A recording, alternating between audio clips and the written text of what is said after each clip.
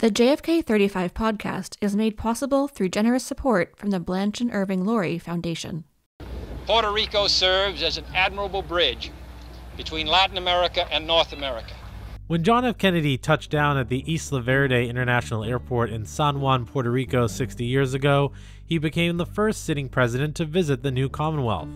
There, he met with the first independently elected governor, Luis Munoz Marin, serving in office since 1949. Today, we'll look back on their relationship, President Kennedy's visit to Puerto Rico, and how Kennedy still remains one of the most popular presidents among Puerto Ricans. Next on JFK 35. And so, my fellow Americans, ask not what your country can do for you, ask what you can do for your country.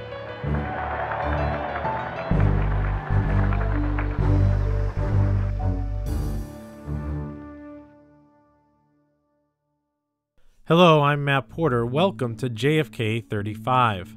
When President Truman passed the law allowing Puerto Rico to become a Commonwealth, it was the beginning of a new era for the island territory of the United States. The decision would allow Puerto Ricans to independently elect their governor for the first time in 50 years of its existence as a U.S. territory. The new governor of the island would be Luis Munoz Marin, a charismatic and popular leader among the residents of Puerto Rico.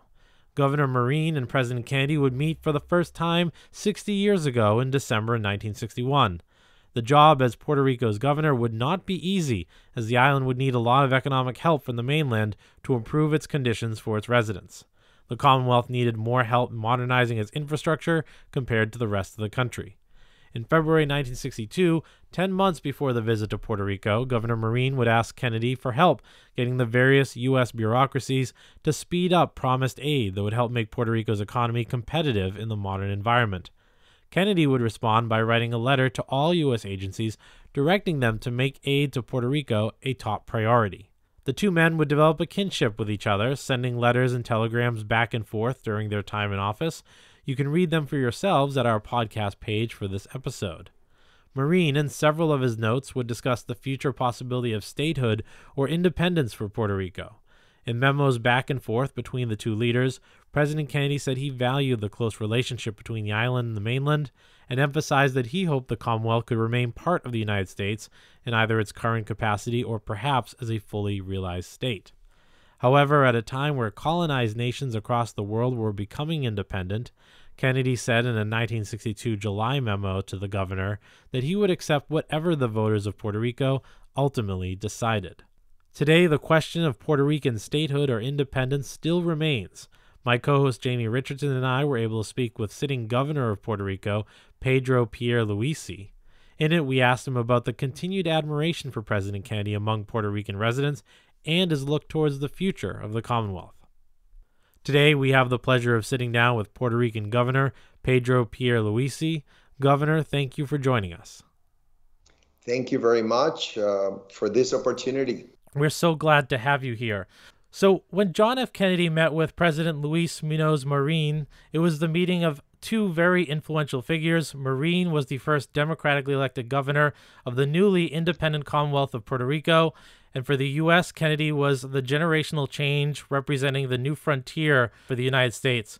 What was the reaction from Puerto Ricans of the meeting of these two political figures?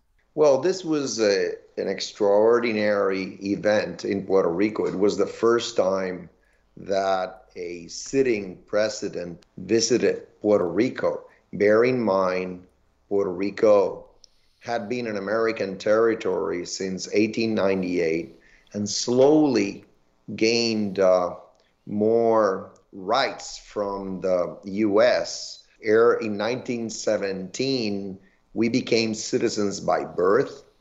And, um, and you're right, uh, Munoz Marin was the first um, governor we elected in Puerto Rico. In 1952, um, Congress approved a constitution uh, for Puerto Rico and so this visit happened about um, nine years later.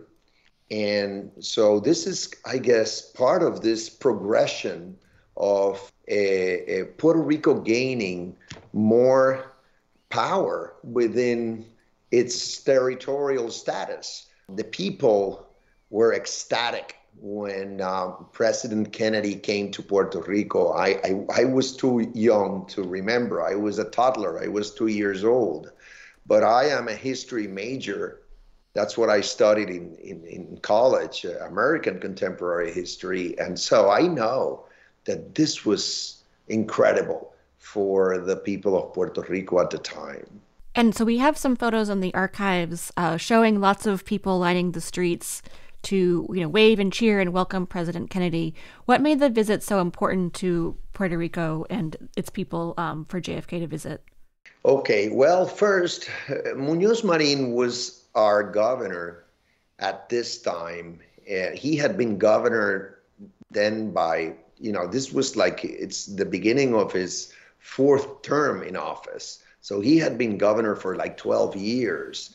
And he was like Puerto Rico's FDR in a way, because Puerto Rico was called earlier in the century the poorhouse of the Americas.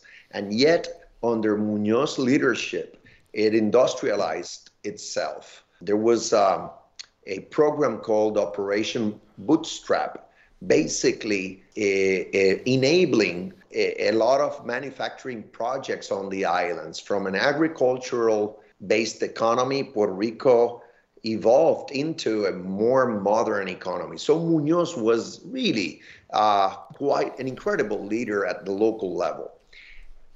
On the other hand, JFK had all this charisma.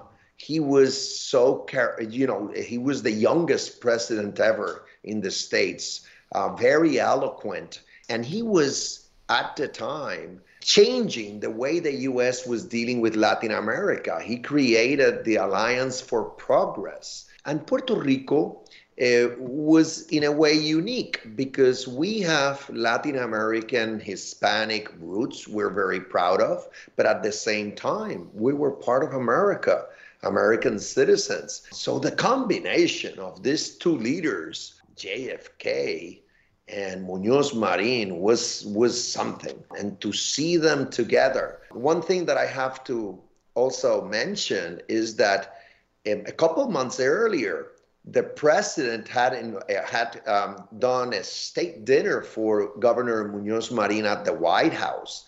And he invited Munoz Marin as well as uh, Pablo Casals, who was uh, a, an incredible uh, musician from uh, Spain, who but who was living in Puerto Rico at the time, and that state dinner was also quite an event. At that state dinner, I understand Governor Munoz Marin invited the president to come to Puerto Rico. And the president uh, uh, then chose to um, come to Puerto Rico as part of his first trip to Latin America, two, two countries in Latin America, Venezuela and Colombia, uh, to pretty much launch or you know um, uh, talk about this alliance for progress, which was intended to do in the in Latin America what pretty much Puerto Rico was doing uh, under the leadership of Munoz Marin, uh, which was to empower you know peasants and and uh, give them title to land uh, and, and and and obviously obtain democratic rights what was JFK doing in Latin America? Promoting democracy throughout Latin America, empowering the, the poor uh, in Latin America. So that's that's the context of this visit, and, and that's why it was so extraordinary. And so when Kennedy arrived at Isla Verde Airport, which was later named for Munoz Marin, Kennedy said that Puerto Rico was an impressive place because while it was culturally different, it still felt distinctly American, as you say, with the spirit of democracy and complementing the, you know, the land's spirit of its people to be invested in the economy, improving its educational facilities, and all kinds of commitments to growth, as you've mentioned. And so, how significant was it, as you mentioned also, was you know, first year of his presidency, an earlier trip for him, and how significant was this for Puerto Rico to have this early visit by President Kennedy and having that those great praise for them? The recognition that JFK, the, for, the president John F. Kennedy, was giving Puerto Rico was unprecedented. holding a state dinner for the governor of Puerto Rico. That has never happened. That's the only time it has ever happened. Coming to Puerto Rico, it was the first time a president visited Puerto Rico. It took 50 years for another president to come back. And this was President Obama while I was representing Puerto Rico in Congress. And I came uh, down, I flew down on Air Force One with him. Uh, uh that was something as well, but it took 50 years. So, so that's why this was um, quite a, a, an event. Now, J- J- John F. Kennedy also uh, appointed Munoz Marin's trusted advisor and one of his cabinet members, Teodoro Moscoso was his name, uh, to head the Alliance for Progress, to act as the director of the Alliance for Progress, and appointed as well another confidant and, and close colleague of uh, Munoz Marin's, Arturo Morales Carrion, to, uh, as Deputy Assistant Secretary for um, Latin American Affairs. Uh, again, at the time, this was uh, extraordinary. I mean, since then, we've had uh, Puerto Ricans um, elected uh, elected to Congress from you know districts in the in the U.S. mainland. We've had We've had we now have a, a, Supreme Court Associated Justice, Associate Justice uh, Sonia Sotomayor, who has Puerto Rican uh, descent. You know, come, her family comes from Puerto Rico, and and, and we've had other uh, top uh, um, appointed officials at the federal government level. But I would say that uh, John, President Kennedy was the one who who started all of this and and, and for for the for you know for for the best. And Governor, you know, when Kennedy was visiting, he said Puerto Rico was the admirable bridge between North and Latin America. Um, in fact, as you mentioned, his next stops after the Commonwealth were to Venezuela and Colombia, and that was, you know, symbolic as it was important. How do you react to that from President Kennedy, and do you think Puerto Rico still plays that role for America? We still aspire to be the the main bridge between the US and Latin America and, and why? First, geographically. We're in the middle of the Caribbean. So we're like a, this is this this is like a, a, a, a you're on your way to much of Latin America when you're passing through Puerto Rico for starters. So geogra- geographically it makes sense. Secondly, we are eh, our culture is very much the same as the culture you'll find in the rest in, in Latin America. We have Spanish roots. With Spanish is our main language, and our traditions and way of life are, are similar to what you'll see in Latin America. Having said that, Puerto Rico was then and still is part of the part of the U.S.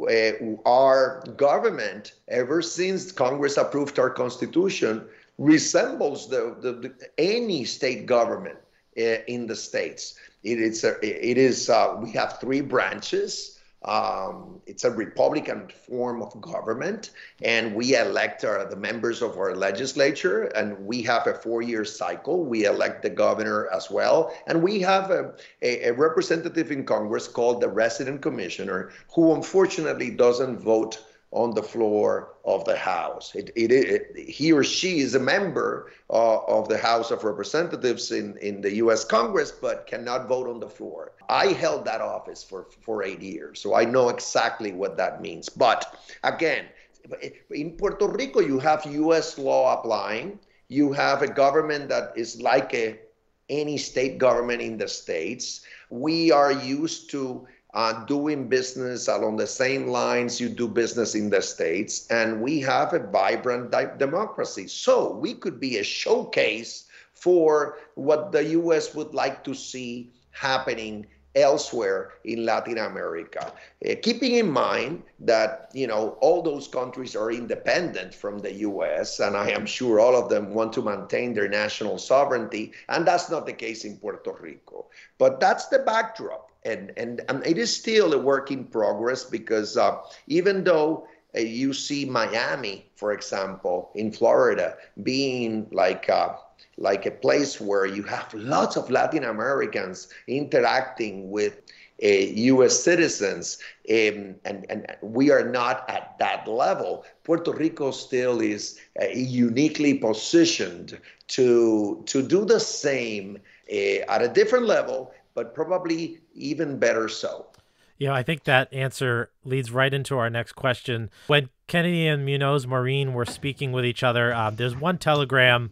Um, you know, part of it is asking for help um, in those off Operation Bootstrap campaign and looking for economic assistance. But the other part of the letter, uh, Marin talks about, you know, at this time, the Commonwealth had just newly been formed. And he's sort of like, I'm not sure where Puerto Rico will go, you know, but we do hope the U.S. will be with us. And, you know, that was alluding to whether or not, you know, Puerto Rico become a state or does it pursue independence.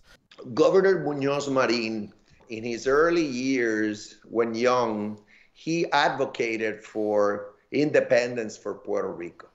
But he gradually evolved and realized that uh, Puerto Rico uh, needed to have some kind of relationship with the US. And we ended up uh, drafting the constitution I referred to and gaining a lot of self government which was very important. He believed in Puerto Rico having the same kind of autonomy that you see in the States. Now, he even admitted that statehood was one of our options, and at one point, even referred to it as the culmination of the territorial status we have. So, what you've seen happening in Puerto Rico is that uh, the statehood movement naturally has grown and right now, um, clearly, a majority of the American citizens residing in Puerto Rico uh, favor statehood. At the same time, so many Puerto Ricans have left and to and, and gone to the states. Uh, it, we're not migrating. We simply hop on a plane and move because we're American citizens. It's different our situation than the one you you have with any Latin American country. And right now, the numbers speak for themselves. You have about 5 million Puerto Rican Americans, American citizens from Puerto Rico in the States, and about 3 million remaining on the island. That is that is really interesting. So I myself, I hope that someday we get the same rights that our fellow citizens have in the States. That is my own aspiration. I would love to vote for the president have voting a voting congressional delegation and be treated equally in all federal programs. So this is still a work in progress, as I said a, a while ago. Munoz was the one, in a way, who launched it because he knew that either we went all the way and became a, a, a, a, state of the United States or remain as an autonomous entity, either like we currently are, which I personally don't like because it is, is colonial in nature, or become a sovereign nation in some kind of association with the US. I guess those are the options. And Munoz Marin knew, he knew at the time that those were the options. And, and President Kennedy was there. He was there for us. He was engaging him and, and, and uh, empowering him and, and, and, um, and my people. And so we will always be appreciative of that no matter what ends up happening, uh, what do you hope for the relationship between the Commonwealth and the U.S. as that grows and develops? I do hope that we become a state. And I say it because it is the natural next step. We've been American citizens for more than 100 years now. We have in, our economy is integrated into the US economy. Most of what we import uh, to Puerto Rico comes from the states and most of what we export goes to the states. And we have so as i said we have so many puerto ricans all over the states making a difference in the arts in science in the area of medicine in government in politics so and so on uh, in the judiciary. Uh, the list is so long. So uh, as a matter of um, basically dignity. I hope that Congress will ask the people of Puerto Rico to vote on our, our status, to choose, make a choice, and then commit to impl- implementing our choice. That's what self determination is all about. Congress has never asked the people of Puerto Rico to vote on our status. It's about time Congress does that. I know that when Congress does that, whenever Congress does that, a clear majority will support statehood. And I hope as well that Congress will allow for it. Because after all, Congress is the one that, that has the power to admit a new state like it has done in the past uh, with so many territories. Thank you. That's so that's such a great point of view to have. Um, often forgotten, I think, when we're here stateside. Um, I just wanted to get back. You know, we are podcasts about JFK, President Kennedy, and you mentioned you were too young to recall President Kennedy's visit. But what did your family or your family's recollections or your kind of your own as you learned about JFK as um, becoming a leader, how has he either influenced or or not your own life or governing style? Let me say that here in Puerto Rico, we're very passionate about our politics, and we are always we love to support uh, charismatic leaders such as Munoz Marin, such as John F. Kennedy. And I know that this this um, this uh, his life it, it is it is still remembered by so many. It was very unfortunate that he could only be the president for about three years. Who knows uh, how much more he could have accomplished for the nation as a whole, as well as Puerto Rico. So that that is like a dream that that remains. People keep um, thinking, wondering, could it could it have been better? and emulating uh, what he did. I mentioned Alliance for Progress, uh, but I could also mention the Peace Corps, an amazing thing that, that still remains today.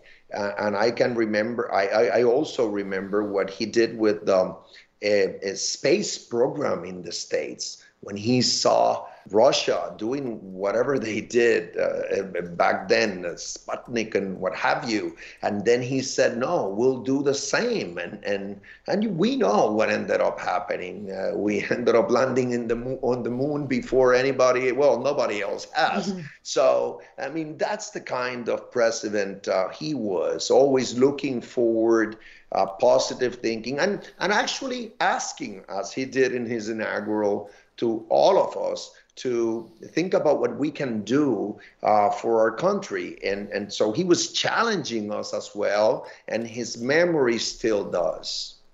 And our final question is you know, we talk a lot about legacy. President Kennedy left a legacy of public service, political courage, and embarking on those bold ideas like the moon landing. We want to ask you what legacy did Governor Munoz Marin leave behind? Well, I, I, have to say that um, Puerto Rico progressed. The quality of life in Puerto Rico improved significantly during his four terms uh, in office, which in and of themselves are like extraordinary. Being governor for 16 years, that's nothing we've seen since. And so he did it. And, and, and, and, and he is one of the, when you when you come to my office, there are two busts and two official pictures of former governors of Puerto Rico. One of them is Munoz Marin's. The other one is Luis Ferre. Uh, is the one, and why both? Well, Munoz Marin was all that we have talked about, and Luis Ferre was kind of his counterpart uh, for a a um, significant uh, portion of his life. And he was another great leader we had in the past, another former governor. Those are the two I have in my office. That tells you. And I am the sitting governor. So those are the ones I look up to. So I have to include Munoz Marin and I include Luis Ferre. One thing I didn't say is he's the father of the statehood movement in Puerto Rico. I mean Ferre. So that's why I chose the two um, and I'm proud of saying so. And, and in the and, and, and as insofar as U.S. presidents are concerned, I have to say that JFK is on the top uh, of my list. well, we love hearing that, um, Governor. Uh, thank you for joining us today. We really appreciate it. No, I, I, I did too. Uh, thank you. Thank you for uh, uh, the opportunity. Thank you so much. Bye bye.